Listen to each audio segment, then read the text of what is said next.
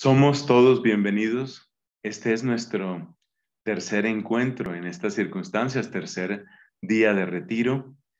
Y hoy vamos a hablar del nuevo orden mundial. Un tema que muy poco se trata cuando hay reflexiones con religiosas, incluso con laicos, pero que de algún modo nos está envolviendo a todos. Y hace bastante tiempo entró en nuestras instituciones educativas, así como también ya entró en la legislación de nuestros países. Como de costumbre, iniciamos nuestra reflexión haciendo una pequeña oración.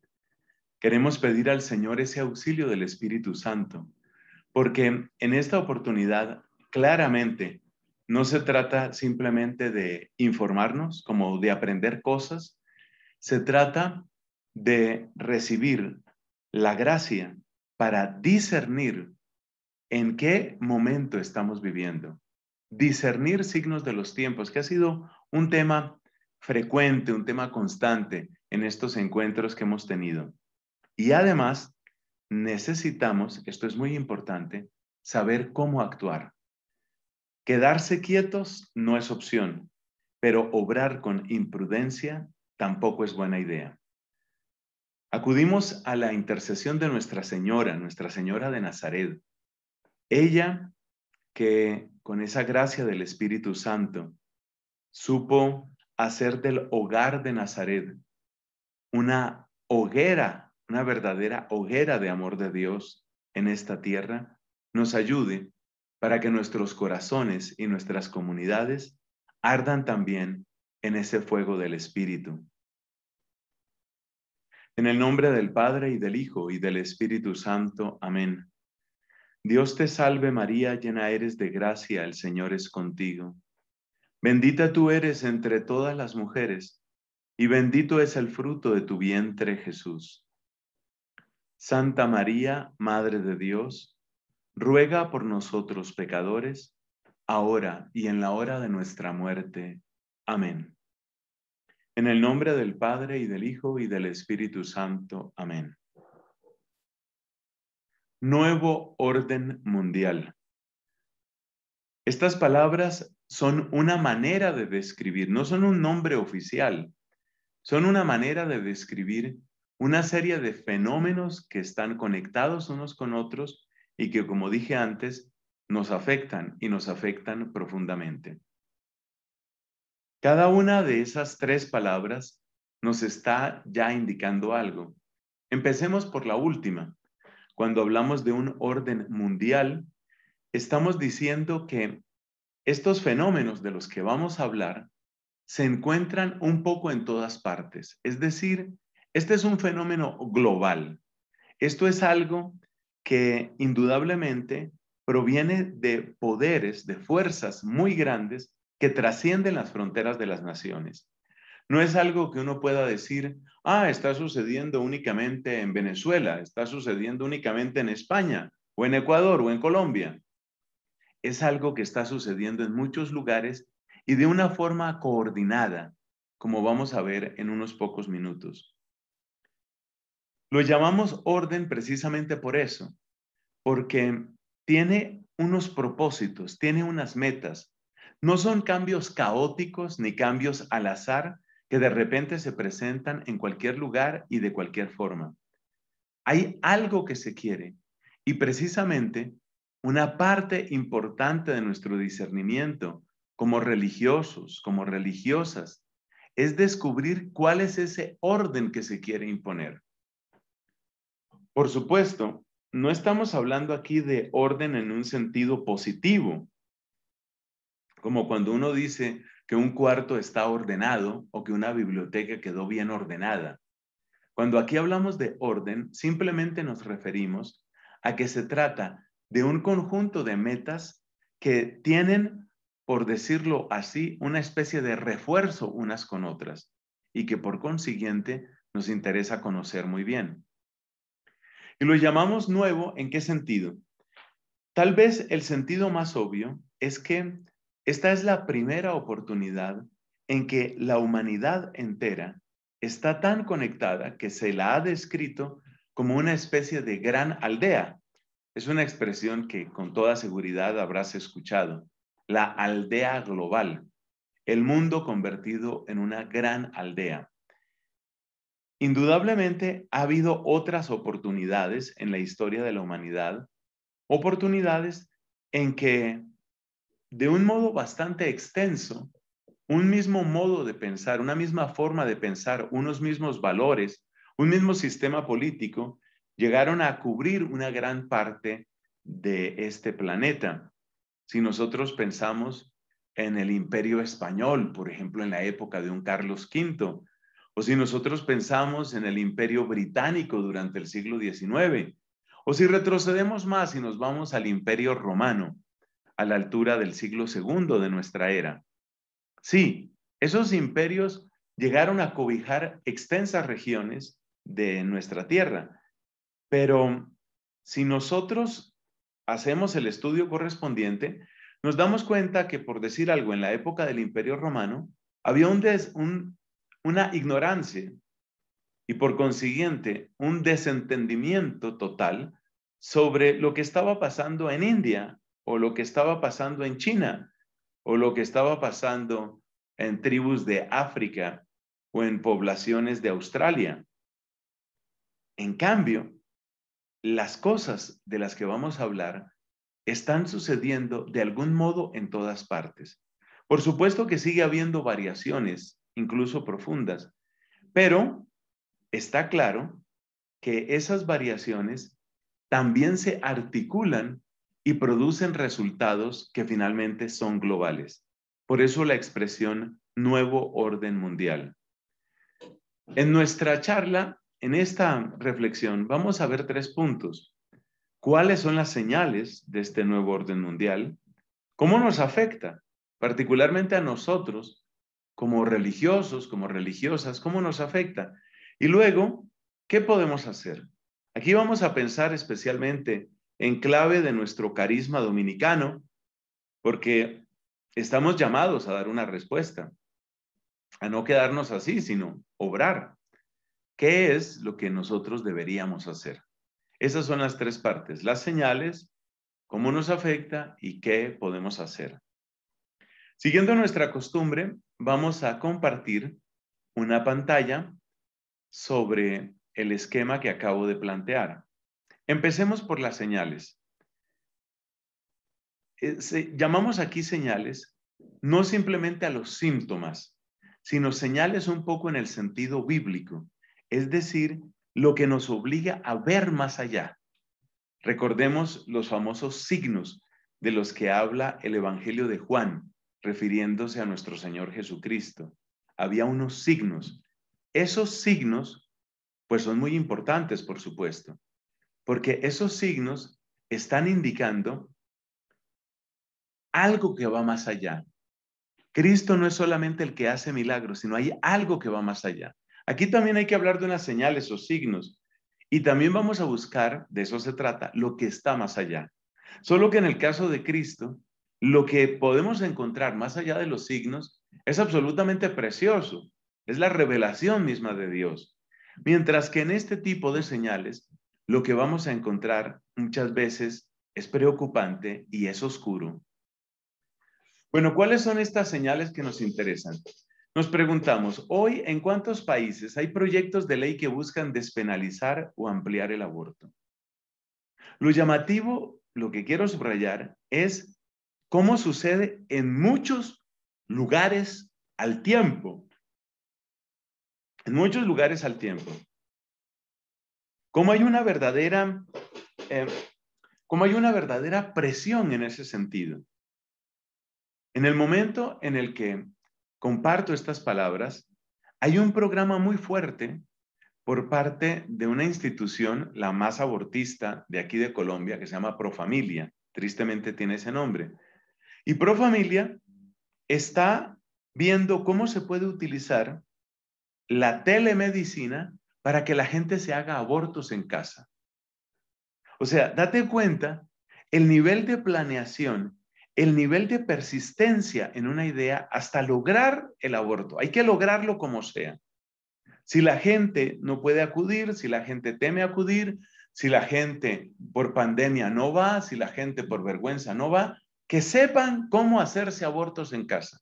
Esto después de que muchas veces se ha presentado como argumento para la legalización del aborto que un aborto ilegal hace peligrar la salud de la mujer.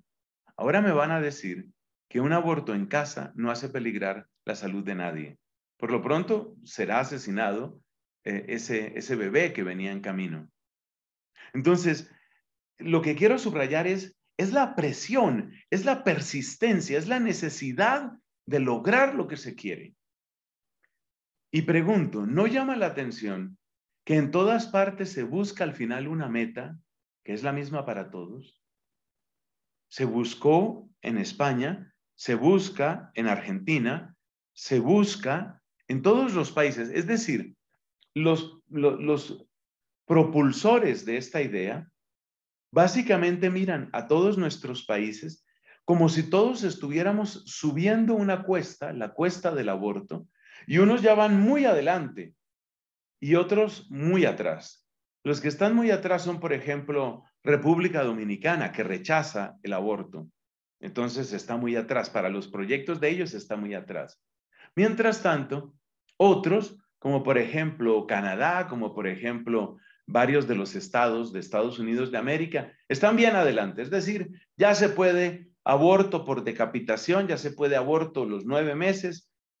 Lo que quieren es aborto libre, subsidiado para todas las edades y en todas las etapas del embarazo. Esa es la meta. Y eso, insisto, en todas partes. Entonces, lo mínimo que uno se pregunta es, ¿quién los pone de acuerdo? Por eso hablamos de algo que es mundial. Otra señal. ¿Has notado que el impulso a la legalización del llamado matrimonio igualitario, es decir, entre personas del mismo sexo, no termina, ese impulso no termina cuando se logra esa victoria legal. Ahí no termina el impulso. Hay que ir más allá. Esto llama la atención y, se va más allá en todas partes. Los que ya tenemos algunos años, tenemos muy presente cuál es el itinerario que se ha seguido. Primero era presentar a la población homosexual como población completamente maltratada, injustamente eh, vejada. Lo siguiente presentar una cantidad de casos emocionalmente fuertes, conmovedores, que le dieran visibilidad a esta población. Entonces ya ahí se empieza a hablar de la comunidad. Hay un abuso de lenguaje ahí. La comunidad, comunidad LGBT, por ejemplo. Entonces ya se empieza a hablar de comunidad. Luego, a esa comunidad se le están privando, se le está privando de unos derechos. Ese es el lenguaje que utilizan. Entonces hay que lograr la legalización del matrimonio igualitario, como se llama en muchos sitios. Pero después de logrado ese matrimonio, que no es una meta para la mayor parte de los homosexuales, no es algo que particularmente les interese y las estadísticas muestran que efectivamente no es lo que les interesa masivamente, pero apenas logrado eso, vamos ahora con la población trans. Vamos con esa otra población. Es decir, hay una prisa que va en una determinada dirección. Hay que tener los ojos abiertos. Hay que darnos cuenta que esto está sucediendo porque, porque como eh, dijimos desde el principio, a todos nos afecta. Entonces, la meta no era el matrimonio igualitario. Esa era, como se habla en ciclismo, esa era una meta volante. Es únicamente un punto de transición una parada en el camino, pero el verdadero objetivo va más allá. ¿Hacia dónde? ¿Te has dado cuenta que el movimiento luego sigue hacia lo no binario? Para ellos, los que afirmamos que la especie humana existe, macho y hembra, hombre y mujer, para ellos, nosotros somos los binarios y ellos son no binarios. Y finalmente, de lo que se trata es de la disolución de toda diferencia entre hombres y mujeres es lo que se llama género fluido. Género fluido. de tal manera que queden solo individuos aislados frente a un Estado hipertrofiado o un sistema transnacional monolítico que lo provee todo y a la vez lo reclama todo. Es el endiosamiento del poder civil, ya se trate del Estado, pero cada vez nos damos cuenta que el Estado mismo no tiene la última palabra, porque el Estado, por razones que a veces son difíciles de entender, tiene que responder frente a alguien más. A veces esa presión llega a través de condiciones financieras. Así, por ejemplo, es famoso el caso durante el gobierno del presidente Barack Obama en Estados Unidos, se presentaba una gran necesidad por distintos desastres, una gran necesidad en Kenia, país que debería tener una eh, cercanía emocional, afectiva con este presidente, porque sus antepasados, unas cuantas generaciones atrás, pues vienen de Kenia. Pues bien, Kenia solicita ayuda a Estados Unidos y Estados Unidos le dice, sí, pero primero tienes que, primero tienes que, tienes que tratar de otra manera a tal tipo de población, esta de la que estamos hablando. Entonces, date cuenta que el Estado no es la última instancia en esta historia, sino que arriba del Estado hay unos intereses mayores, intereses transnacionales, intereses globales. Eso es lo que queremos decir con un nuevo orden global, con un nuevo orden mundial. Un tercer ejemplo para que se note por dónde va esto.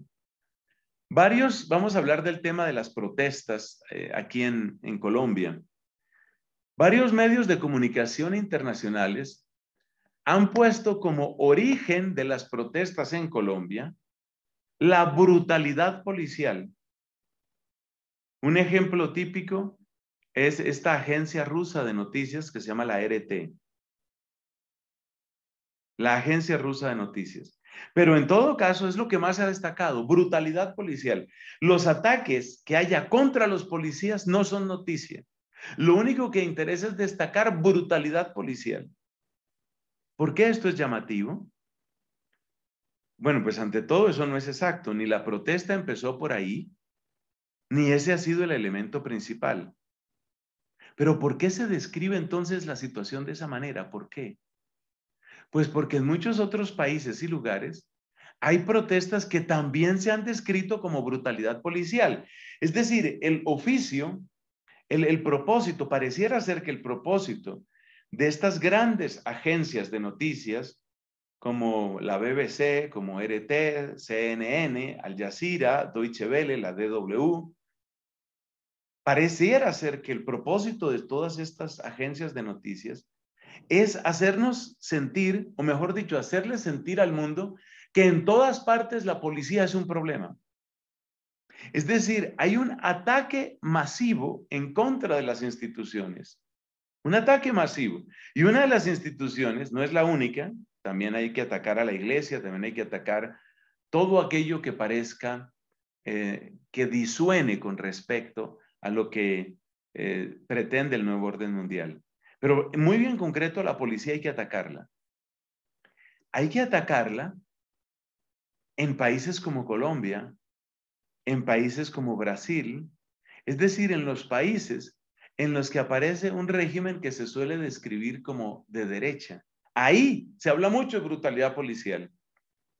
Pero ustedes recuerdan que se haya hablado de brutalidad policial, sobre todo del tamaño que de hecho ha sucedido en Nicaragua.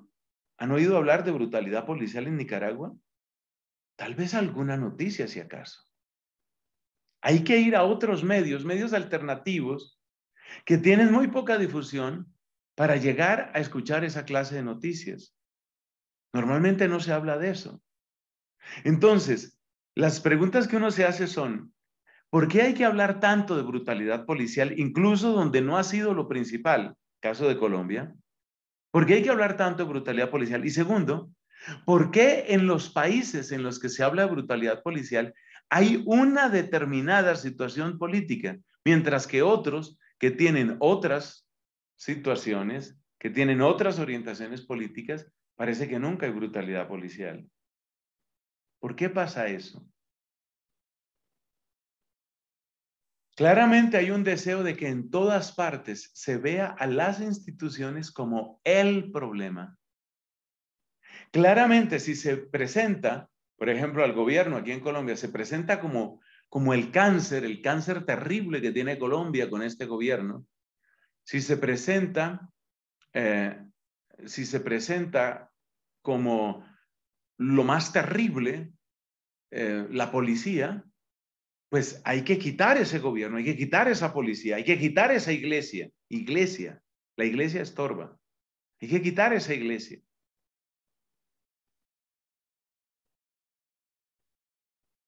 Bueno, ¿y eso qué significa? Que la pregunta que uno tiene que hacerse es, ¿se quiere quitar a la policía? ¿Se quiere quitar a la iglesia? ¿Se quieren quitar los gobiernos?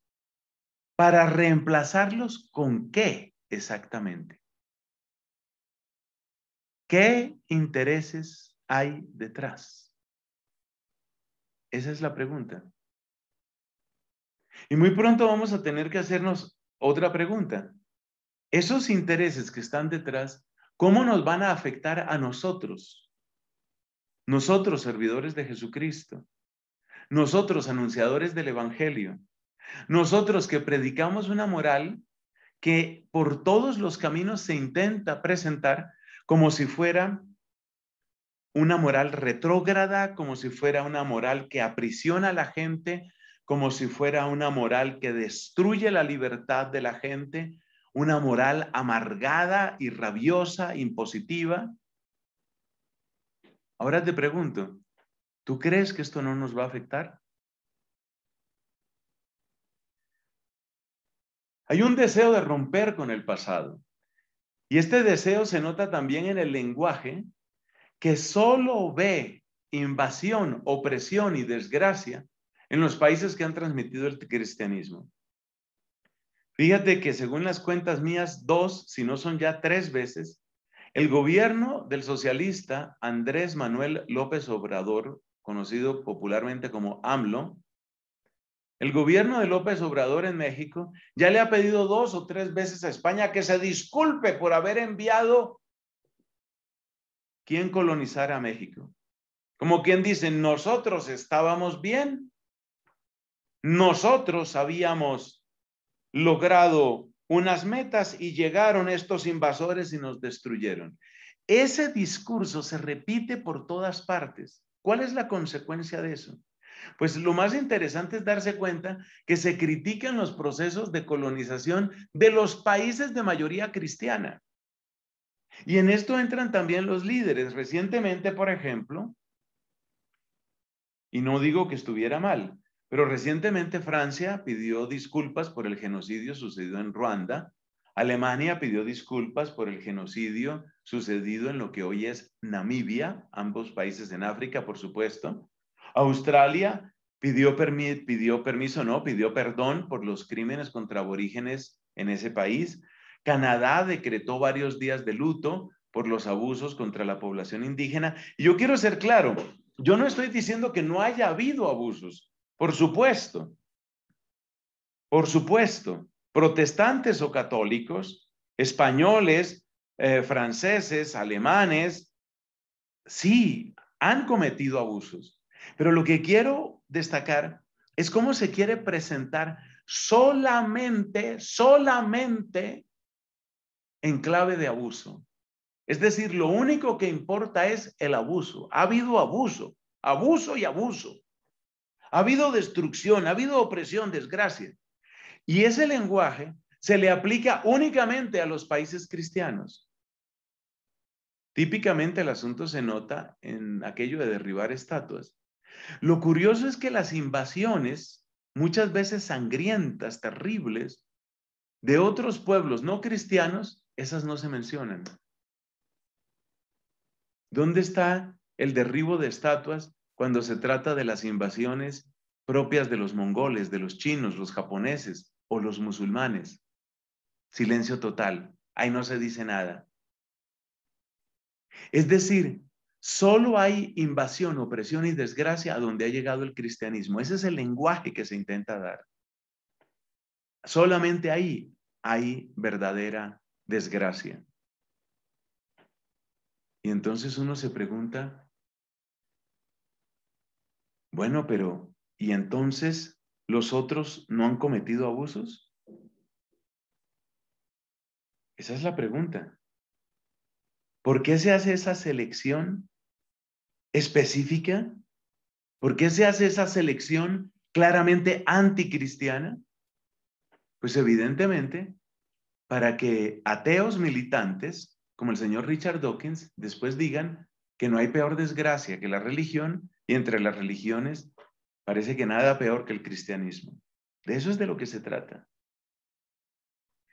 Y un último ejemplo.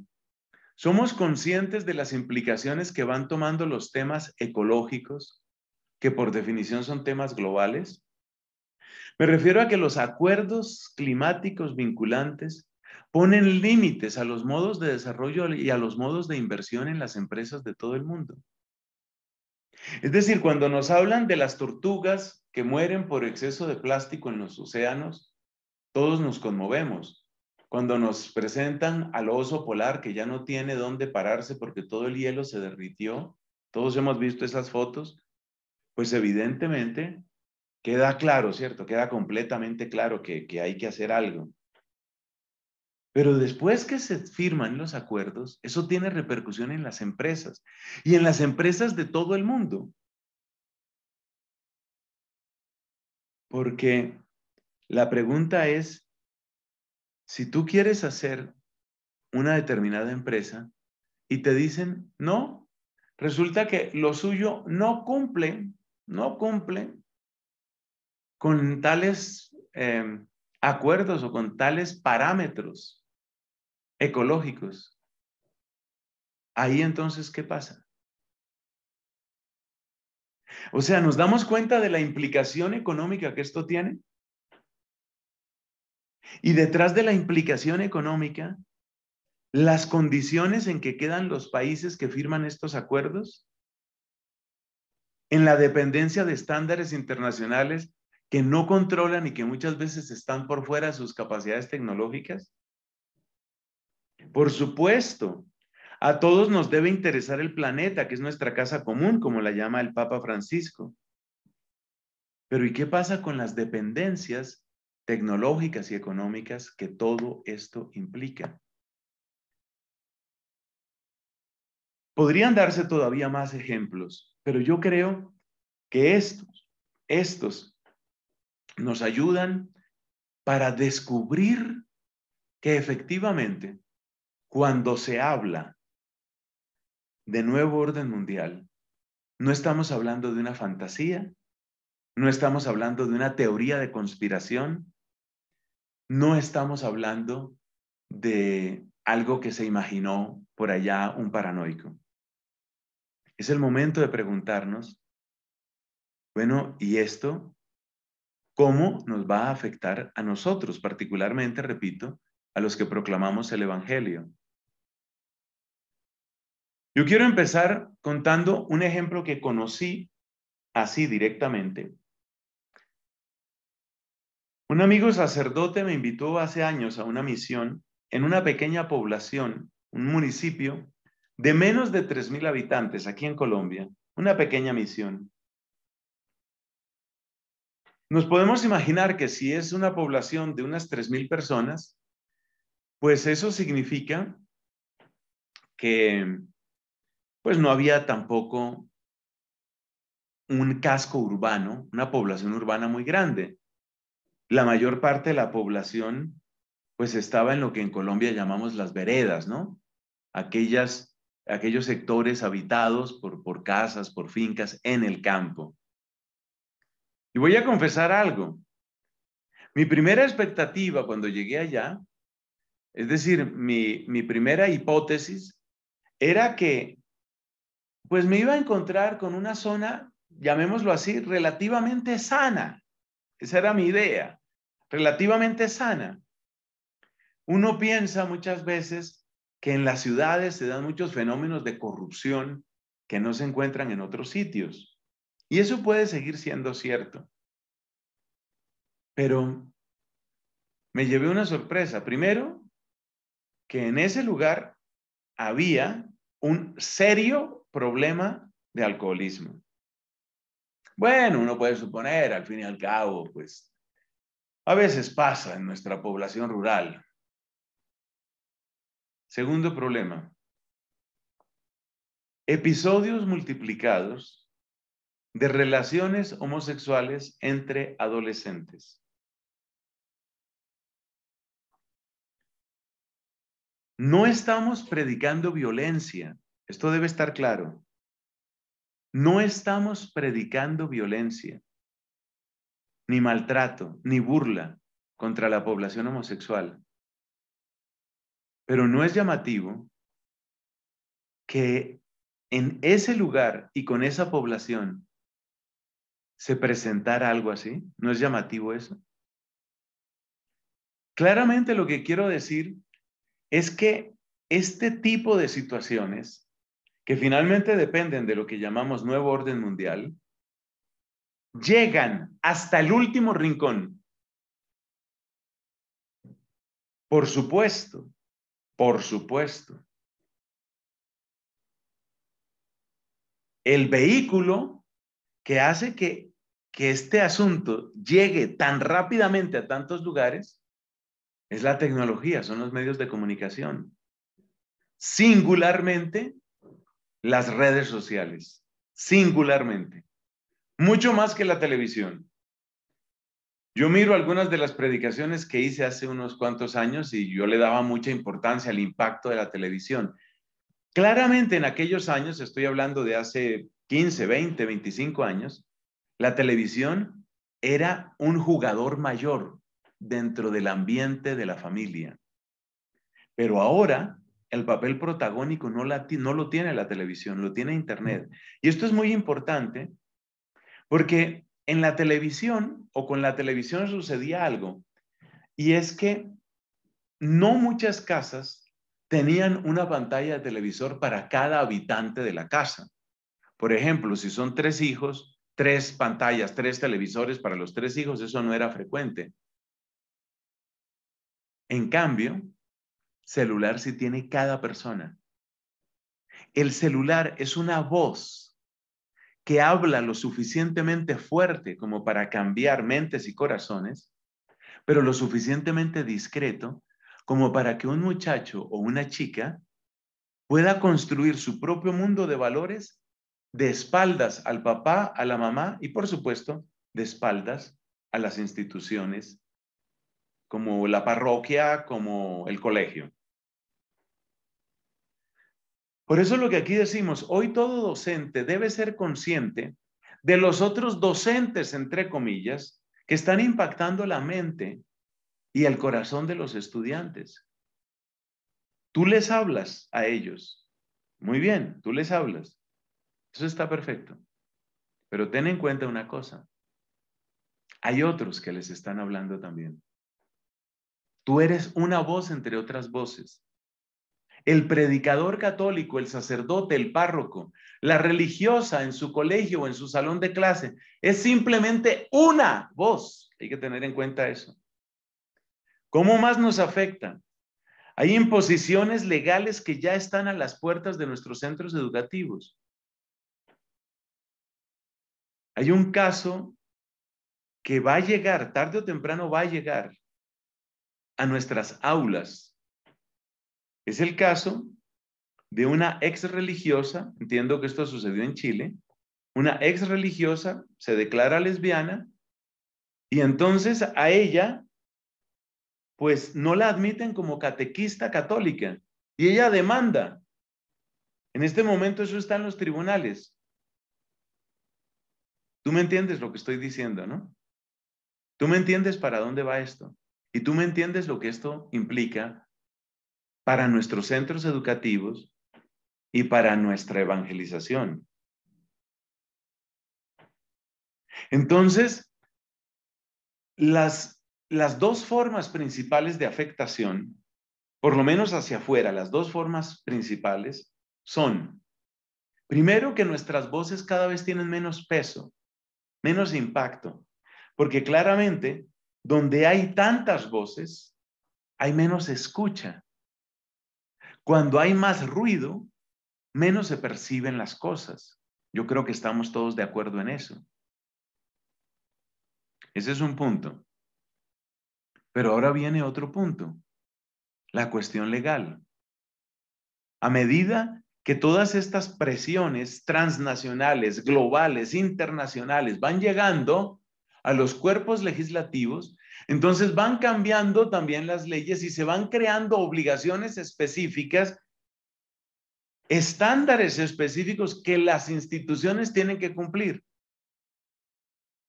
¿Qué tan preparados estamos para eso? Y hay un punto que no lo puse ahí en estas sencillas notas, en estos apuntes, pero que aquí lo comento. No se nos olvide que esto también nos afecta a nosotros mismos.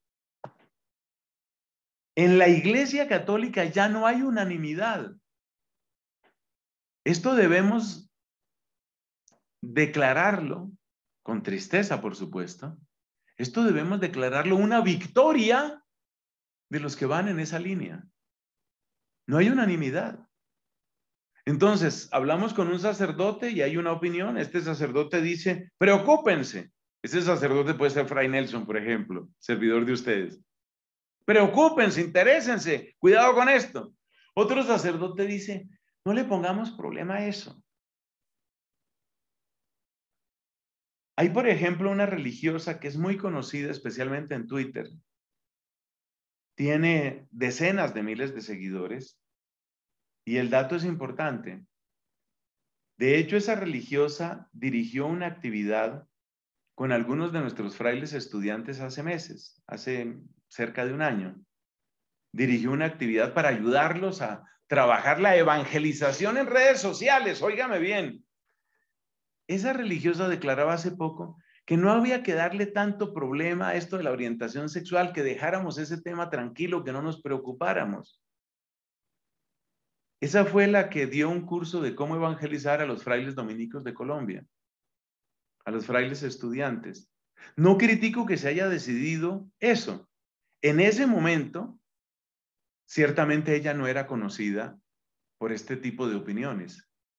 O sea, no es una crítica contra las directivas o quienes coordinan la formación en mi comunidad de ninguna manera. Solamente estoy indicando cómo esto va penetrando también adentro de la iglesia, en sacerdotes, en obispos. Mires los casos de Alemania. Por supuesto, en religiosas, en catequistas.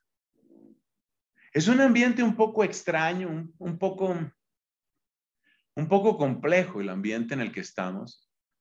Porque uno no puede, llamémoslo así, vivir en paranoia, pero uno tampoco puede, de ninguna manera puede, quedarse eh, como en una especie de cueva, esperando que todas las cosas se arreglen por sí mismas. Hay que enterarse de esto. Y esto está llegando a nuestras comunidades. Hay que preguntarse, por ejemplo, en una comunidad religiosa, ¿cuáles son las convicciones que traen las personas que tocan las puertas de nuestras comunidades? Yo sé que hay gente a la que esto no le importa, pero yo espero que a ustedes, hermanas, sí les importe, porque de esto depende mucho el futuro. Efectivamente, cuando se corrompe la doctrina y consecuentemente se corrompe la moral, tanto en lo que se vive como en lo que se enseña, dejamos de ser sal de la tierra y luz del mundo. Y hay un principio que se cumple siempre en las comunidades religiosas. Nosotros, comunidades religiosas, todo lo pagamos en vocaciones, todo. Nuestras infidelidades comunitarias siempre, siempre repercuten en, el tema vocacional. Allí donde hay fidelidad, allí donde hay claridad, allí donde hay alegría de servir a Cristo, el olfato que el Espíritu Santo le da a los candidatos o a las candidatas atrae la gente. Allí donde no hay esa claridad, donde la doctrina se corrompe o relativiza, donde la moral se relativiza o se corrompe, el olfato del Espíritu le dice a la gente, por ahí no te metas, Por ahí no te metas, ese lugar no es para ti. Y eso se paga en términos de qué? Se paga en términos de vocaciones. Siempre lo pagamos todo en términos de vocaciones. Pasemos a nuestro último punto. ¿Qué podemos hacer? Vamos a dar algunas recomendaciones. Ante todo necesitamos informarnos, lo cual en sí mismo no es nada fácil. Hay que distinguir el trigo de la paja en muchas fuentes. ¿Cuáles podrían ser criterios para identificar fuentes creíbles? Porque, por ejemplo, en Internet te encuentras de todo. Entonces hay gente que considera que ser radical es decir la misa en latín. Hay gente que considera que ser radical y fiel a Cristo es no vacunarse. Hay gente que considera que ser radical y fiel a Cristo es hablar mal del Papa Francisco o desconocerlo completamente. O sea que así como hay personas que consideran que el verdadero evangelio tiene que ser tan inclusivo, de manera que también el diablo pueda predicar lo que se le dé la gana, así como hay ese extremo que es el extremo progresista, hay otro extremo que es el extremo de esa supuesta radicalidad que muchas veces se asocia o con un partido político específico, o haciéndole la guerra al Papa, o peleando contra las vacunas, o creyendo que todo se arregla con latines. Ustedes me conocen, hermanas, ustedes saben que yo amo el latín. Por supuesto, no tengo inconveniente en celebrar en latín, básicamente el novus ordo, que es lo que yo conozco, no tengo inconveniente con eso. Algunas veces rezo en latín. De hecho, los domingos siempre tomo el oficio de lecturas en latín, junto con el otro, junto con el que está en español, porque son realmente textos preciosos los que están ahí. Yo no tengo guerra contra el latín, pero que me vengan a mí a decir que la radicalidad consiste en el latín, solo me lleva a responder, más radical me parece a mí el griego y el hebreo, más cerca de la raíz. Radical viene de ahí, ¿no? Entonces, ¿cómo podemos identificar fuentes que llamamos creíbles?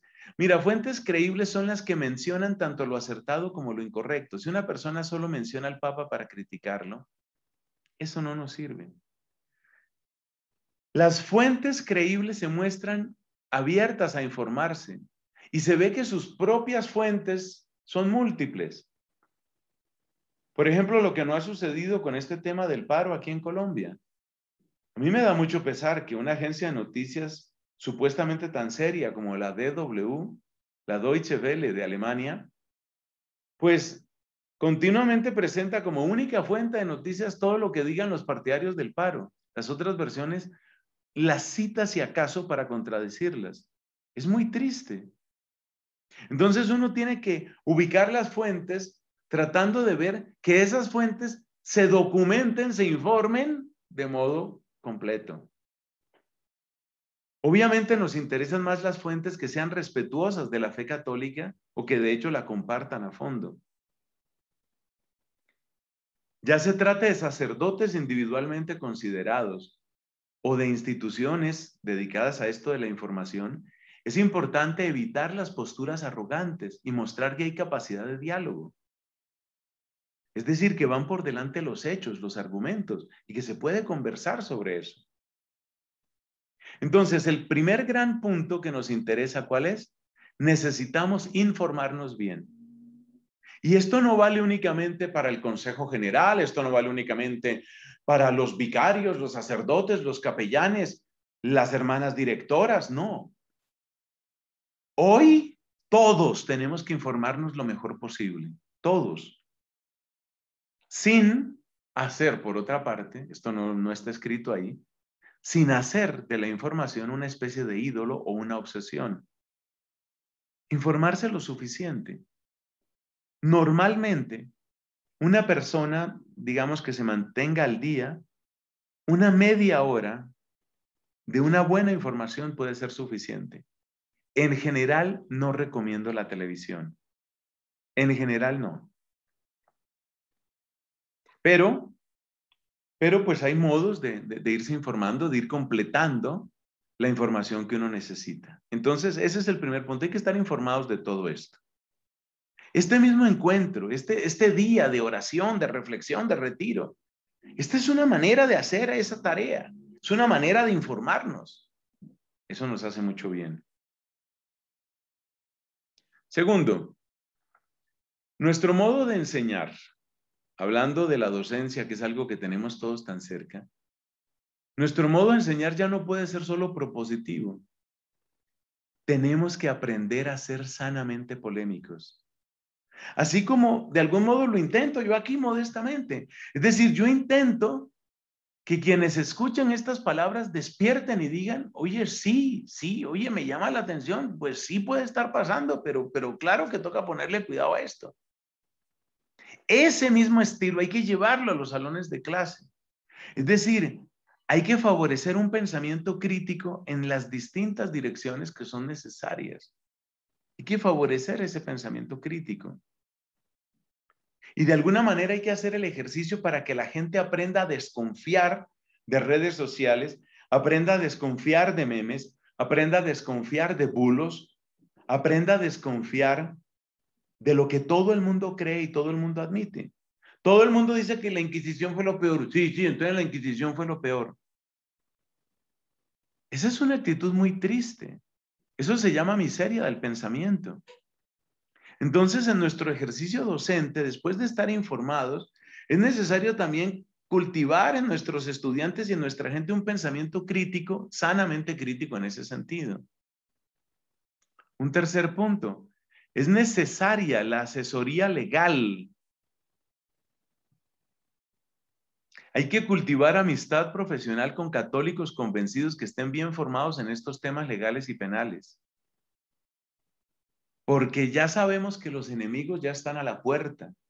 Sabemos que las demandas, pues las demandas suben y bajan, pero las demandas vienen. Las demandas vienen, hay que estar claros en eso. Además nos hemos dado cuenta de que efectivamente en las mismas redes sociales hay grandes censuras, pues yo mismo lo he padecido algunas veces.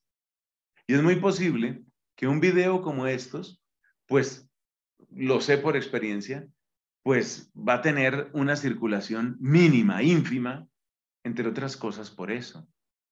Por eso. Porque estamos tratando de romper esos límites y esas cadenas en las que nos quieren meter.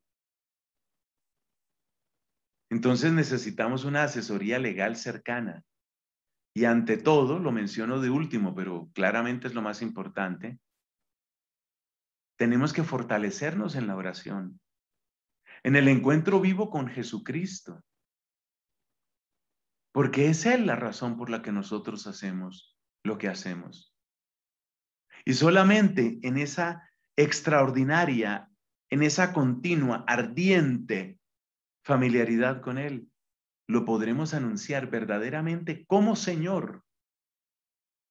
Señor de los siglos, Señor de las culturas, Señor de nuestros cuerpos y nuestras almas.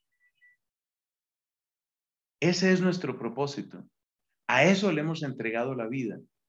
Para eso estamos al servicio de su reino. Viva Cristo Rey. Gloria al Padre y al Hijo y al Espíritu Santo, como era en el principio, ahora y siempre, por los siglos de los siglos. Amén.